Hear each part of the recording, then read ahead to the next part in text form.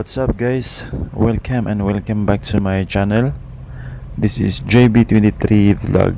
For today's video guys i would like to share on how to test the thermostatic valve the lifting of the valve of the thermostatic valve guys of the generator engine uh, of the jacket cooling water high temperature cooling of the generator engine guys. So as you can see that's the spot where we disassemble the thermostatic valve assembly. So that's the cooling outlet part of the generator in which we are cleaning the faces of the of the contact faces of the assembly so as for always guys before carrying out of the certain job we have to secure the engine properly.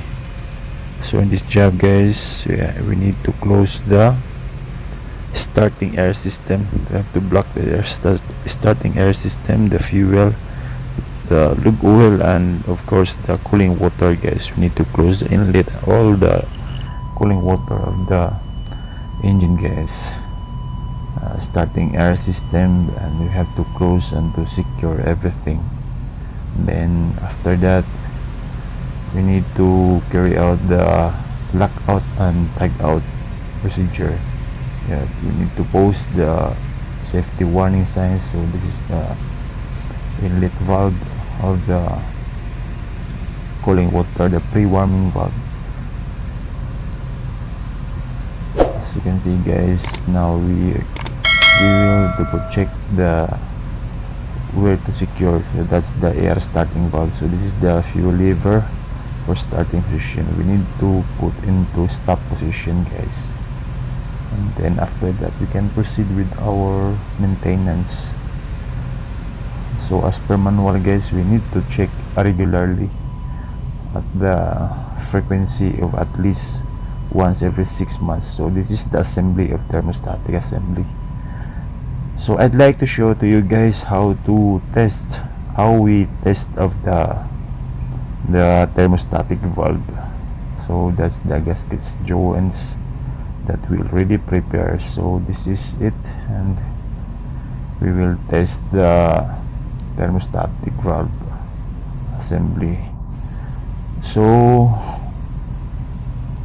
we use the hot plate portable hot plate guys but it's not enough to heat up to 90 degrees. So we use the acetylene torch oxy oxygen acetylene guys the in order to boil the pot so that we will see how it lift and what's the lifting distance or the length of lifting. As you can see guys the thermostatic has begun to begin to lift. So at the temperature of around 95 degrees it has lifted. Yes as you can see that's the thermostatic valve is start lifting. As you can see also at the temperature is around 95 degrees yes it's around 90 degrees guys. It's around 90 degrees. So before carrying out with this kind of job guys you need to read the instruction book. Yeah, regardless of what kind of generator we must to read. Um, there is a specific instruction how much the lift lifting valve of the thermostatic guys. So what is the function of this thermostatic valve guys? This is to uh, definitely to maintain the cooling water temperature of the engine. So this is to maintain uh, at about 80 to 90 degrees of the engine depending on the stroke of the engine. If it is uh, with a long stroke engine it has to maintain 80 to 90 but uh, in this kind of engine guys uh, we are maintaining up to 80 degrees to 85 degrees. So the lifting is about around to 5 millimeter.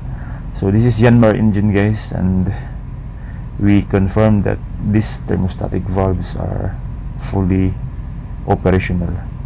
So these valves are in good working condition at its optimal performance so you need to check also guys all the abnormalities cracks in deformation in this figurement and any other abnormalities uh, any deficiencies guys.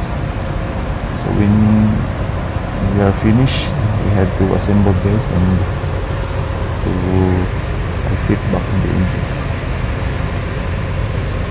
So this is how it is. You have to clean properly then assemble button